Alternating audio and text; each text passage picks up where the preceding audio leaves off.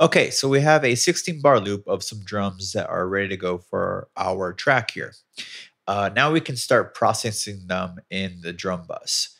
So this is going to make them sound more cohesive and come up together in volume as a unit. Uh, basically, it just makes everything sound glued together. Hence why I'm using a plugin called The Glue by a company called Cytomic.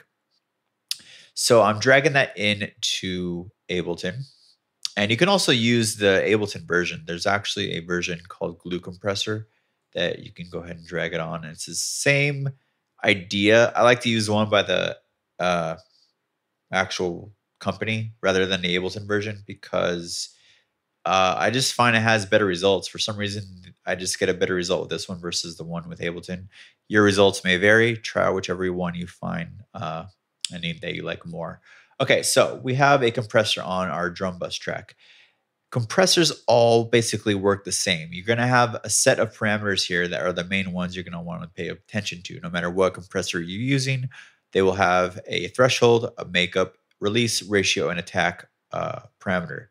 And the best way to do this is to set your attack really high at the highest it goes, set your ratio all the way down, and your release as well.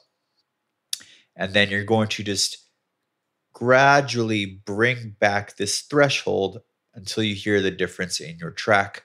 And then you're going to notice that when you drag back the threshold, it's going to lower the volume. And you're going to have to make up for that volume with this parameter right here. That's why it's called makeup. It makes up for the volume. But the idea is is that when when this parameter does bring up the volume, the sound is more cohesive. You're hearing the compressed signal coming up rather than just the volume coming back up. So that's why a lot of people ask, well, why don't you just raise the volume up of the group bus to make all the drums louder?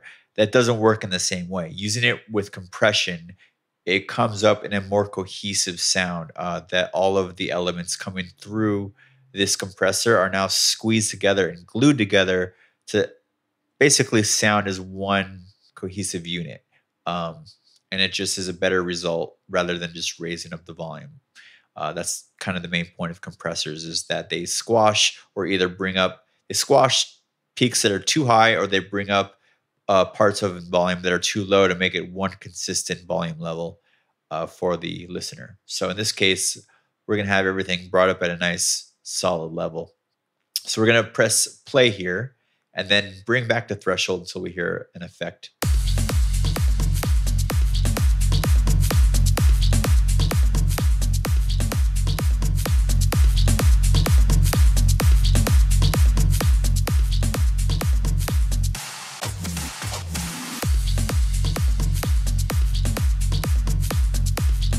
Okay, so you can hear it lower in volume. We're going to bring this up now to hear how it sounds.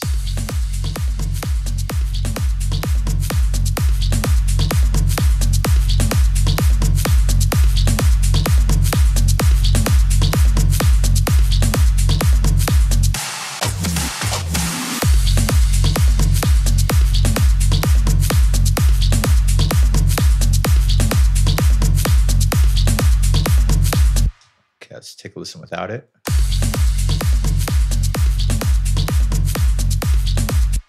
Now with it.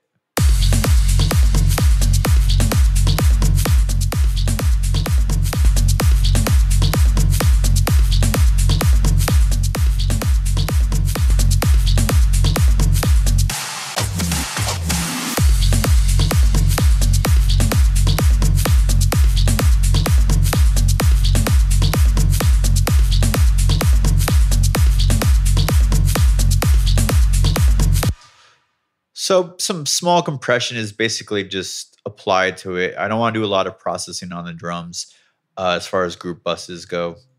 I usually don't. All I usually say is you just need a little bit of compression applied on the drum bus to uh, have a nice cohesive sound at the end after you have all your drum elements figured out and everything. Just a small amount of compression just to polish them up is all it's needed.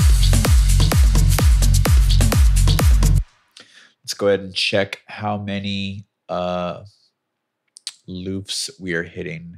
Actually.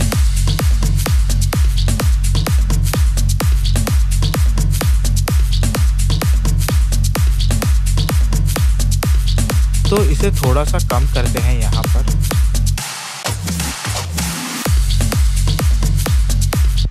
Okay, I think that should be good for the compression. So yeah, once you have your overall drum section uh, kind of set up here and then processed, uh, I believe you're ready for the rest of the track. So this is enough of a loop to give us you know enough of gap in the timeline to to set up a nice melody with some key changes and everything and go from there. But I think for now, uh, we have a solid drum idea at least going up for our EDM track.